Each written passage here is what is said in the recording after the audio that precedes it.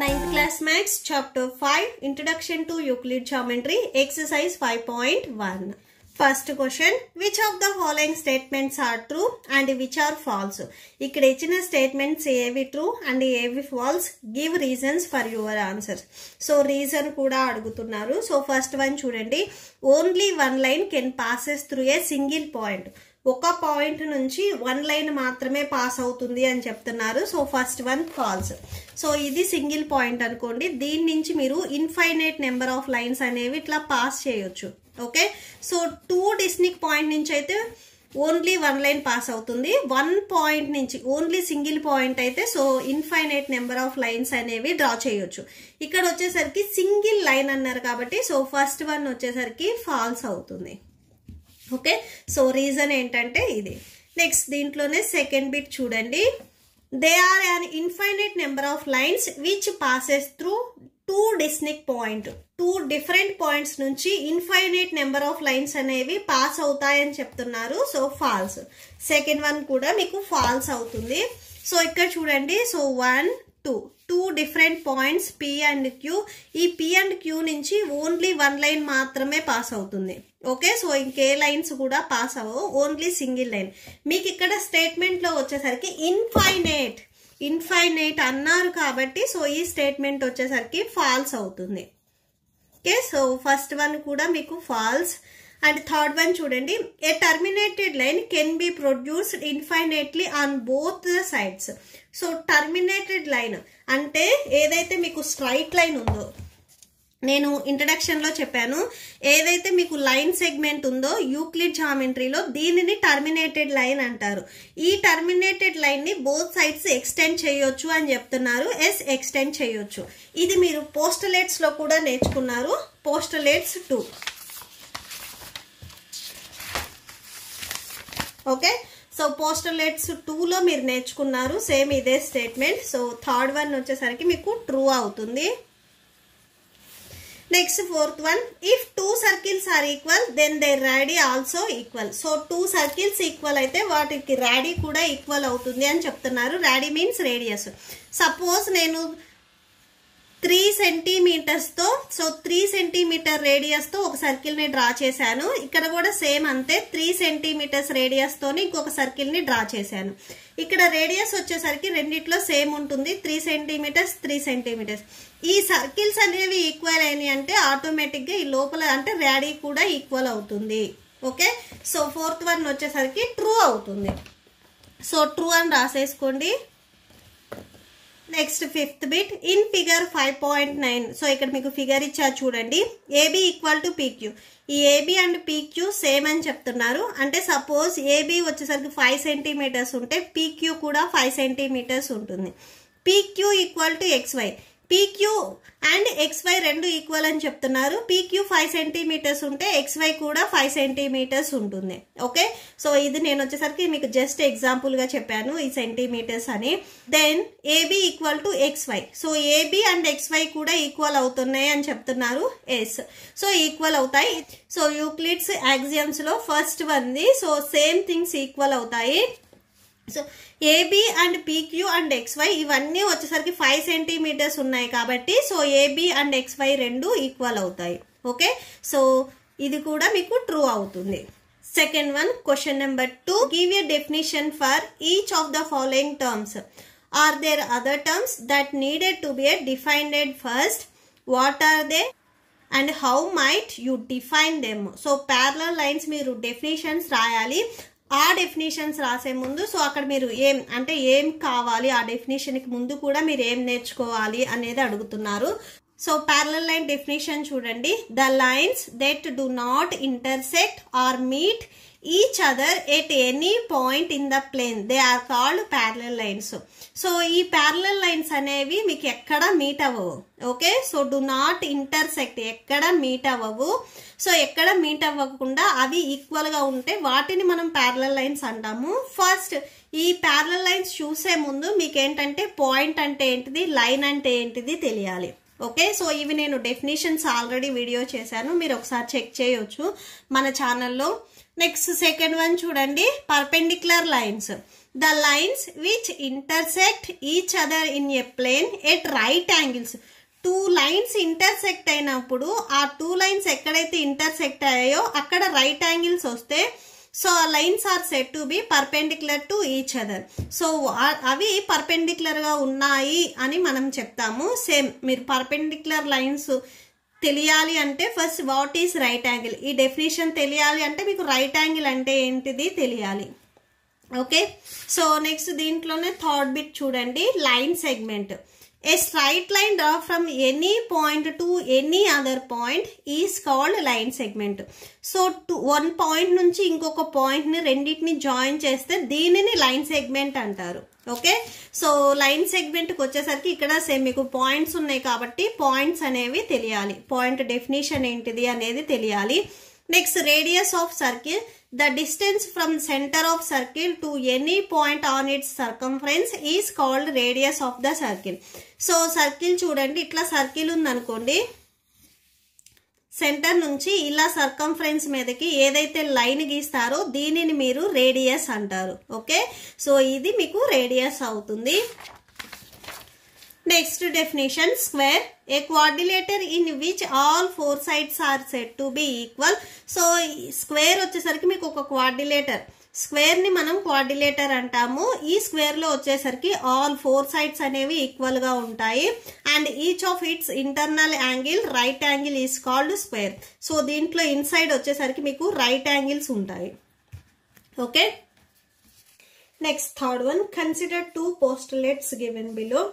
First one given any two distinct points A and B, there exists a third point C, which is in between A and B so A and B two points మిడిల్లో C అనే point ఉంటుంది అని చెప్తున్నారు. ఇది A and B so ఈ two lines ఈ two points మిడిల్లో C అనే పాయింట్ అనేది ఎగ్జిస్ట్ అవుతుంది అని చెప్తున్నారు. నెక్స్ట్ సెకండ్ బిట్ చూడండి. There exist at least three points that are not on the same line so same line మీద కాకుండా త్రీ పాయింట్స్ అనేవి ఎగ్జిస్ట్ అవుతాయి అని చెప్తున్నారు. సో ఇది ఏ ఇది బి ఇది సి సో ఇది సేమ్ లైన్ మీద కాదు అని చెప్తున్నారు. అయితే ఇలా ఉండొచ్చు. ఓకే సో ఇక్కడ చూడండి. Do these postulates contain any undefined terms ఇక్కడ ఏవైనా అన్డిఫైనెడ్ టర్మ్స్ ఉన్నాయా?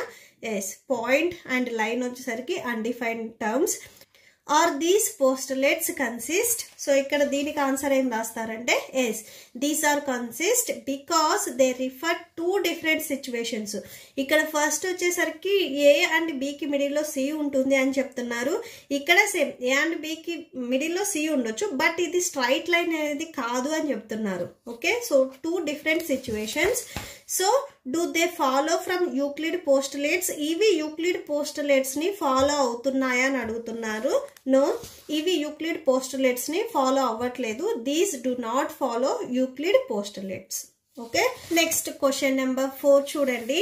If a point C lies between two points A and B so to A and బికి మిడిల్లో సి అనే పాయింట్ ఉంది అని చెప్తున్నారు. Such that AC equal to BC so అలా ఉంటే ఏసీ అండ్ బీసీ వచ్చేసరికి ఈక్వల్ అవుతాయి అని చెప్తున్నారు. Then prove that AC equal to of AB explain by drawing the figure so ఫిగర్ని draw చేసి ఎక్స్ప్లెయిన్ చేయమని చెప్తున్నారు. సో ఫోర్త్ వన్ చూడండి. ఫస్ట్ ఫిగర్ని డ్రా చేసుకుందాము. ఫస్ట్ ఏ అండ్ బి వచ్చేసరికి టూ పాయింట్స్ అని చెప్తున్నారు. ఈ టూ పాయింట్స్కి మిడిల్లో సి అనే పాయింట్ ఉంది అని చెప్తున్నారు. సో ఇలా రాసేసుకోండి. అండ్ నెక్స్ట్ ఇక్కడ వచ్చేసరికి ఏం చెప్తున్నారంటే AC equal to BC A నుంచి సి వరకు ఎంతైతే డిస్టెన్స్ ఉందో బి నుంచి సి వరకు కూడా సేమ్ డిస్టెన్స్ ఉంది అని చెప్తున్నారు. ఓకే ఇది అండ్ నెక్స్ట్ వచ్చేసరికి మనం ప్రూవ్ చేయాల్సింది ఇది. AC equal to of AB ఈ ఏసీ లెంత్ వచ్చేసరికి ఈ ఏబి మొత్తంలో అంటే ఏ నుంచి బి వరకు ఎంతైతే ఉందో దీంట్లో ఆఫ్ ఉంటుంది అని చెప్తున్నారు. సపోజ్ ఏబి వచ్చేసరికి సిక్స్ సెంటీమీటర్స్ ఉందనుకోండి. ఏ నుంచి బి వరకు సిక్స్ సెంటీమీటర్స్ ఉంటే సో ఏసీ వచ్చేసరికి ఎంత ఉంటుందంటే దీంట్లో ఆఫ్ అని చెప్తున్నారు. అంటే సిక్స్ బై టూ వేసుకోవాలి. సో త్రీ సెంటీమీటర్స్ ఉంటుంది ఇక్కడ నుంచి ఇక్కడ వరకు. ఇది జస్ట్ నేను నెంబర్ ఎగ్జాంపుల్గా చెప్పాను. సో ఇది మనం ప్రూవ్ చేయాల్సింది చూడండి. ఫస్ట్ మీకు ఏదైతే ఇచ్చారో అది రాసుకోండి. గివెన్ సపోజిషన్ ఇచ్చారు చూడండి. ఏసీ అండ్ బీసీ వచ్చేసరికి ఈక్వల్ అవుతాయని చెప్తున్నారు. సో అది రాసేసుకోండి అండ్ బోత్ సైడ్స్ వచ్చేసరికి ఇప్పుడు మనం ఏసీని యాడ్ చేస్తున్నాము. ఇది మీకు క్వశ్చన్లో ఇచ్చారు. మనం ప్రూవ్ చేయాల్సింది ఇది. సో ఇప్పుడు ఏం చేస్తారంటే ఈ ఈక్వేషన్కి మీరు బోత్ సైడ్స్ ఏసీని యాడ్ చేయండి. Adding AC on both sides okay? So both sides ఏసీని add చేస్తే ఇక్కడ ఆల్రెడీ ఏసీ అండ్ బీసీ ఉంది. సో సేమ్ ఈ ఈక్వేషన్కి మనం బోత్ సైడ్స్ ఏసీని యాడ్ చేస్తున్నాము. Plus AC plus AC so AC plus AC అంటే టూ ఏసీ వస్తుంది. So BC plus AC okay? So right సైడ్లో మీకు బీసీ ప్లస్ ఏసీ ఉంటుంది. సో బీసీ ప్లస్ ఏసీ ఈ లెంత్ మొత్తం వచ్చేసరికి ఏబీకి ఈక్వల్ అవుతుంది. ఇక్కడ మీకు కట్ చేసి ఉంది. సో ఈ లెంత్ వచ్చేసరికి ఇది టోటల్ లెంత్ అవుతుంది. Okay? So that equal to AC BC plus AC ప్లస్లో మీరు డైరెక్ట్గా ఏబీ అనేది రాసుకోవచ్చు. Okay? So two AC so ఎందుకంటే ఈ టూ పార్ట్స్ వచ్చేసరికి టోటల్ లెంత్కి ఈక్వల్ అవుతుంది కాబట్టి ఏబీ రాసుకోవచ్చు. మనకు కావాల్సింది ఏంటిది? ఏసీ సో ఈ టూ మల్టిప్లికేషన్లో ఉంది. దీన్ని మీరు ట్రాన్స్పోజ్ చేసుకుంటే డివిజన్లోకి వెళ్తుంది. సో ఏబీ బై టూ రాసుకోవచ్చు మీరు డైరెక్ట్గా. మన క్వశ్చన్లో చూపించమన్నది ఆఫ్ ఇంటూ ఏబీ కదా. జస్ట్ ఏబీని మీరు ఈ పక్కన రాసేసుకోండి. So by one by two into AB so ఇలా రాసేసుకోండి సరిపోతుంది. సో మనల్ని ప్రూవ్ చేయమన్నది కూడా ఇదే కాబట్టి సో ప్రూవ్డ్ అని రాసేసుకోండి. Hence proved.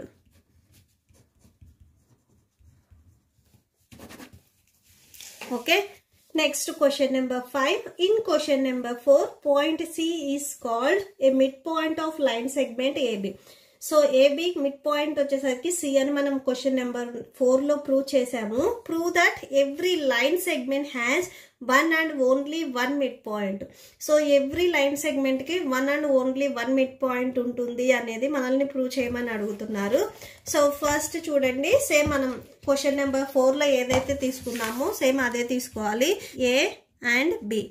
సో ఇక్కడ ఈ టూ లై ఈ టూ పాయింట్స్కి మిడిల్లో సి అనే మిడ్ పాయింట్ ఉంటుంది అని చెప్తున్నాము. ఇక్కడ ఇంకొక మిడ్ పాయింట్ తీసుకున్నాము. ఇది వచ్చేసరికి డి అని తీసుకున్నాము. ఓకే? ఇప్పుడు సి మిడ్ పాయింట్గా తీసుకున్నట్లయితే మనకి ఏవి ఈక్వల్ అవుతాయి అనేది రాసుకుంటున్నాము. Let C is a mid point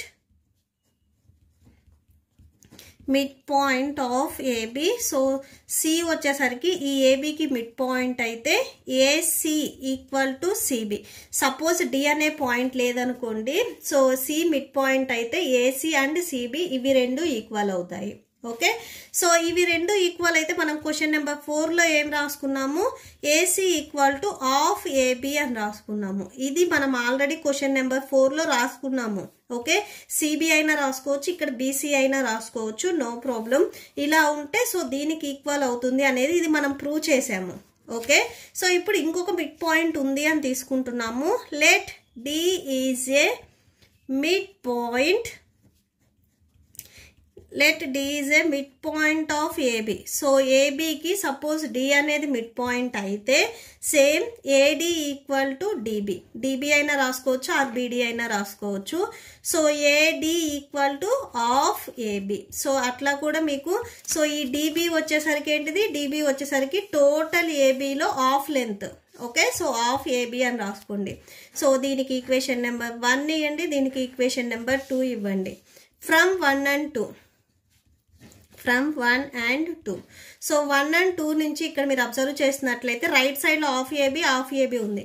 so ఇవి ఈక్వల్ అయ్యాయి కాబట్టి ఏసీ అండ్ ఏడీ కూడా ఈక్వల్ అవుతుంది. AC equal to AD so it means C and D వచ్చేసరికి కోయిన్సైడ్ అవ్వాలి. Okay so AC and AD అంటే ఏ నుంచి సి వరకు ఎంతైతే డిస్టెన్స్ ఉందో ఏ నుంచి డి వరకు కూడా సేమ్ డిస్టెన్స్ ఉండాలి. డిస్టెన్స్ అనేది గ్యాప్ రాకూడదు. ఇక్కడ సి ఉన్నప్పుడు సేమ్ ఇదే పాయింట్ దగ్గర డి అనేది ఉండాలి. ఓకే సో అలా కోయిన్సైడ్ అవ్వాలి. సో ఇక్కడ రాసేసుకోండి. It means it means C and D coincide okay so C and D వచ్చేసరికి కోయిన్సైడ్ అవ్వాలి. For for every line segment has one and only one mid point AC and AD distance same ఉన్నాయి కాబట్టి so one and only one mid point మాత్రమే ఉంటుంది. Next question number six in figure five point ten if AC equal to BD so ఇక్కడ మీకు figure ఇచ్చా చూడండి. దీంట్లో AC equal to BD then prove that AB equal to CD so AB and CD రెండు equal అని మనం prove చేయాలి. Okay so మనల్ని నేను తీసుకోమన్నారు? Condition AC equal to BD ఇది మనం తీసుకోవాలి ఇది మనం ప్రూవ్ చేయాలి. Okay so AC equal to BD అని గివెన్ అని చెప్పేసి రాసేసుకోండి.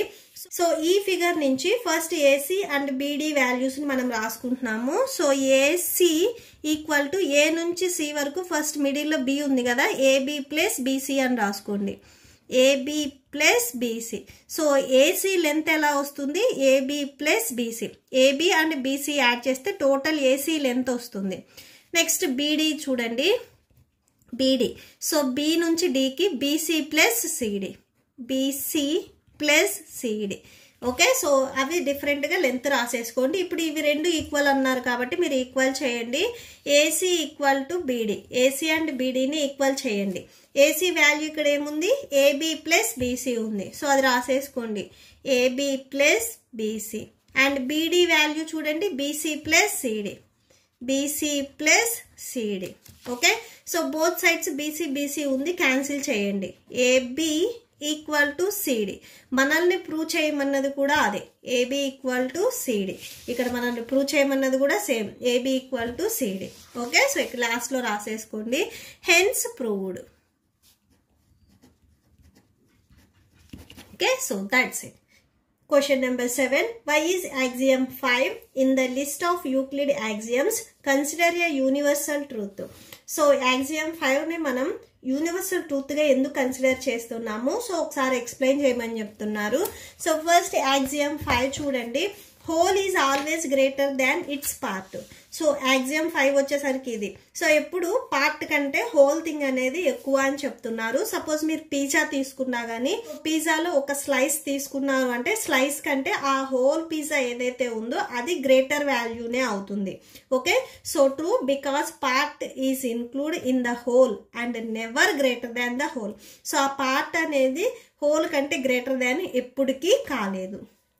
ఓకే సో దాట్స్ ఇట్ ఈ ప్రాబ్లంతో మీకు ఈ వీడియో కంప్లీట్ అయింది. మీకు ఈ వీడియో నచ్చితే ప్లీజ్ లైక్ చేయండి మీ ఫ్రెండ్స్కి షేర్ చేయండి అండ్ మన ఛానల్ని సబ్స్క్రైబ్ చేసుకోండి. ఇప్పుడు నేను చెప్పిన ఈ ప్రాబ్లమ్స్కి మీకు నోట్స్ డిస్ప్లే అవుతుంది. చెక్ చేసుకోండి. Thank you and thanks for watching